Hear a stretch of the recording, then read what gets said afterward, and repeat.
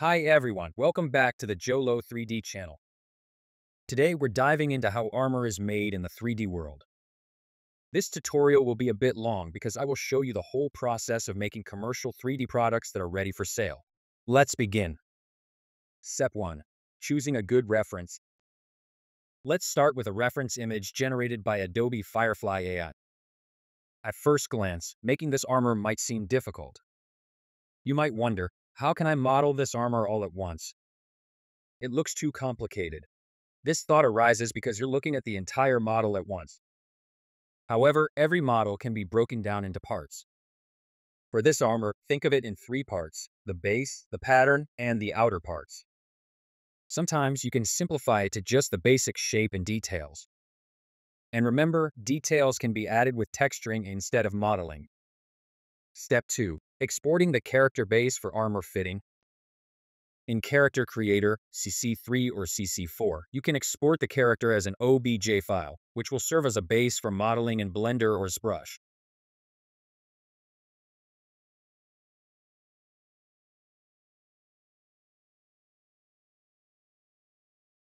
Step 3. Modeling the armor in ZBrush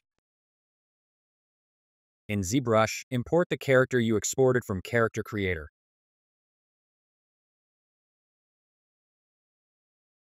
Click the Edit button to confirm the imported object.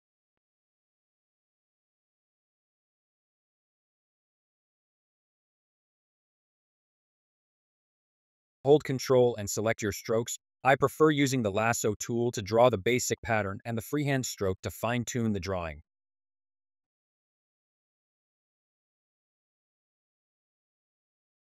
Instead of directly copying the AI-generated design, use it as concept art. When using the lasso tool to create the basic shape of the armor, you might notice the edges aren't solid due to low resolution.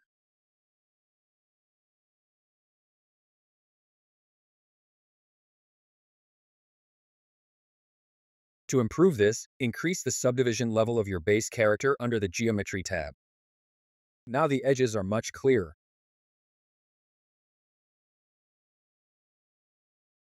Next, use the lasso stroke to draw the basic pattern and the freehand stroke to fine-tune it.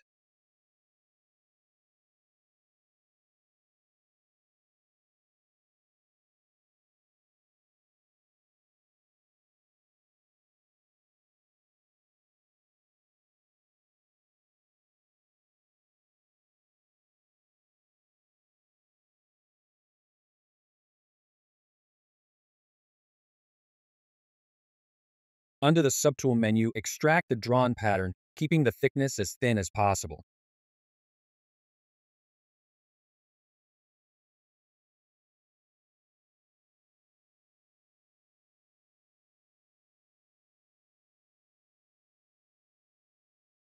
Go back to the base character and paint other parts. Extract the edge of the armor using the same method.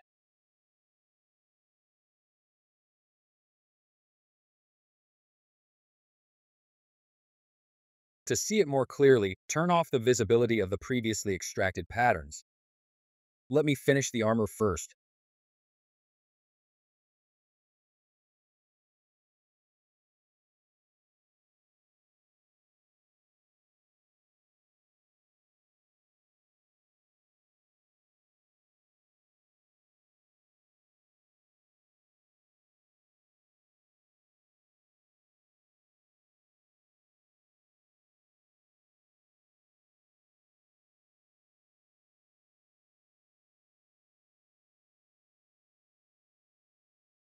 Step 4. Simplifying the armor in ZBrush.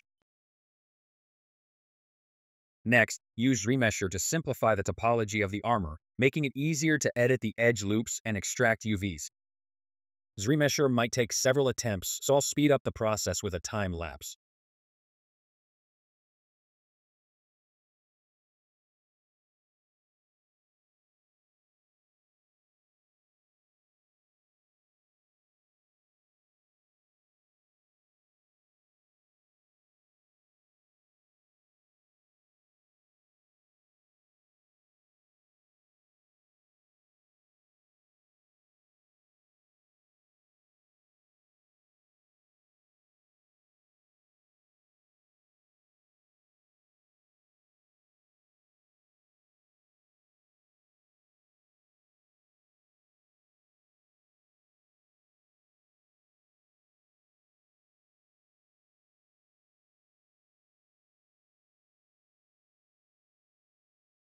Step 5.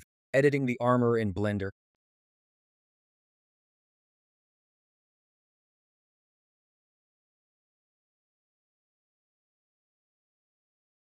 Import the base character and the armor parts created in ZBrush into Blender.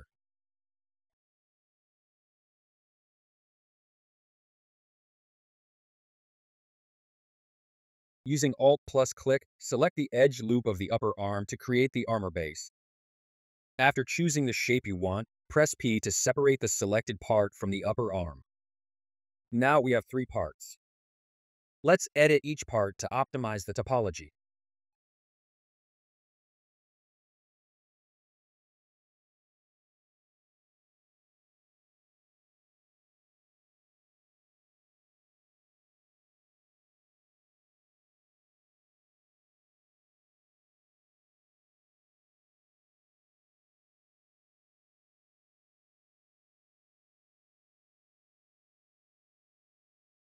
Delete the inner parts of the armor since they are always hidden.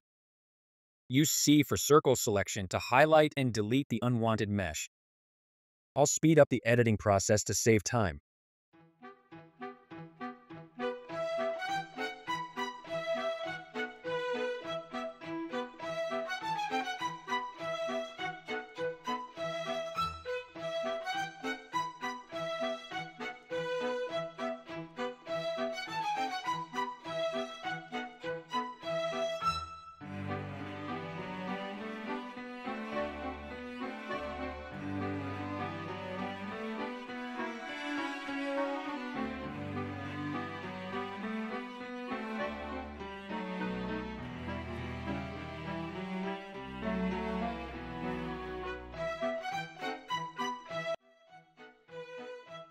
Combine the vertices and fill any gaps in the edge loop using F.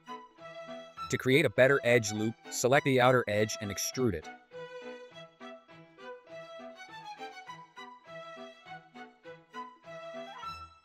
Select the edge loop where you want to cut the armor in half and use Ctrl plus E to mark the seam. This helps unwrap the 3D object into a 2D UV map, similar to how you'd cut a 3D object in the real world to flatten it on a table. The goal is to cut the 3D object into a blend of rectangular shapes, making it easier to use the UV squares function and achieve a perfect rectangle shape. Sometimes edge loops might be spiral-shaped and hard to cut. Connect any vertices between rows to complete a circular edge loop. I'll speed up the process to show you all the editing.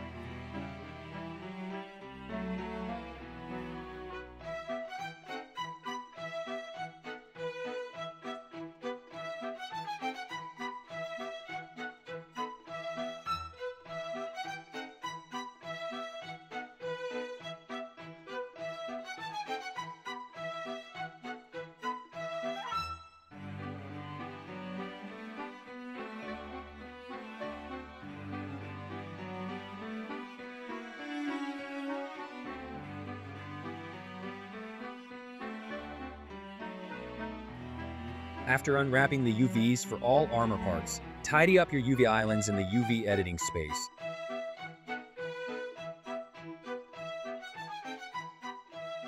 I highly recommend using the Blender Add UV Pack Master to speed up the process significantly.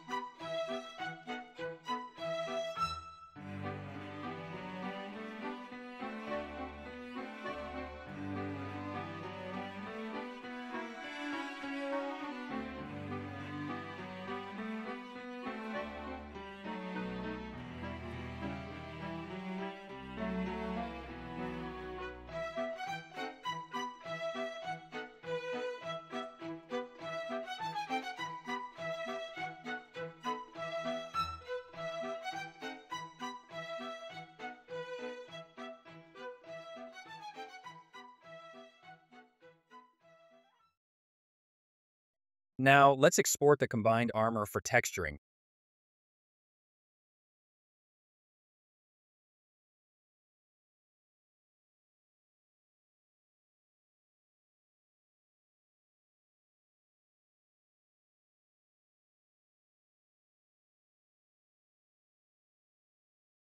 Step 6. Texturing the armor in Substance Painter. To keep things smooth and clear, I've already finished texturing my model. Here's my design. Let me disable all the layers and explain the texturing process step by step. For the base layer, I use the Smart Material Car Solid Paint as the overall base material. Then, I applied Metal Grid as the inner part of the armor. Next, I added another layer and used Alpha to create a glow pattern. I did this by selecting the base color, height, and emissive texture in the Properties Paint section. Then I chose the alpha and printed it onto the model.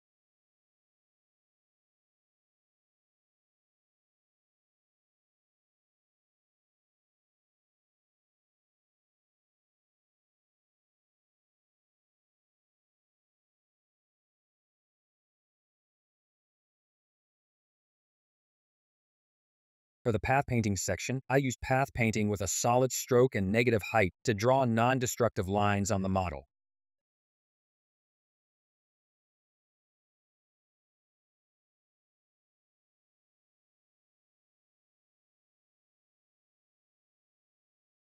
To make sharp corners, simply add more points to the path.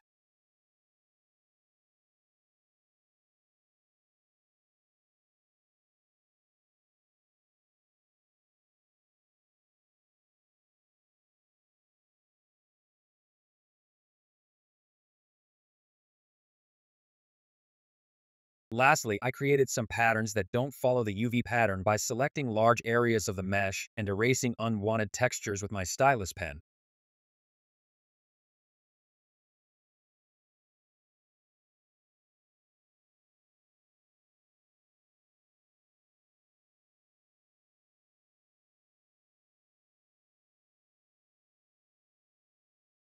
After finishing the textures, export all textures as PNG files.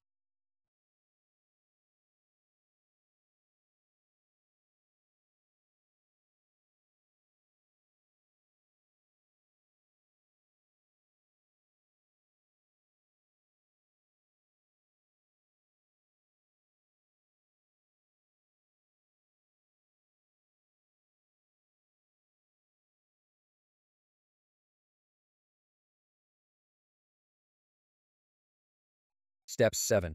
Finalizing in Character Creator 3 or 4. Create accessories in Character Creator 3 and import the combined armor from Blender. Adjust the position of the object if needed.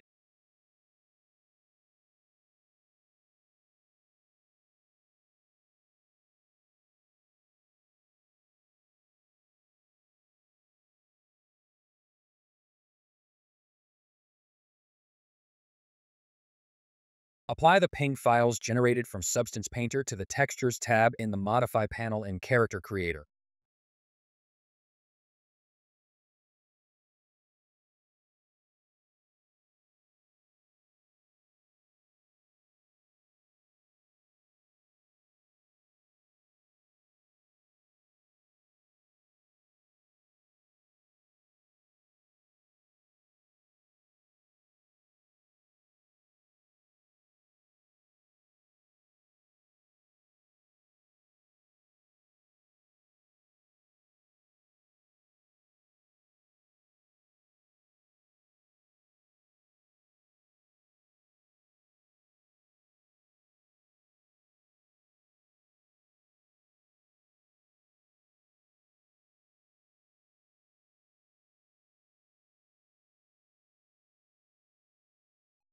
Finally, use the transfer weight feature to finish weight painting. And there you have it, the final product is ready for sale. Thank you for watching my tutorial. If you found it useful, please like, share, and subscribe.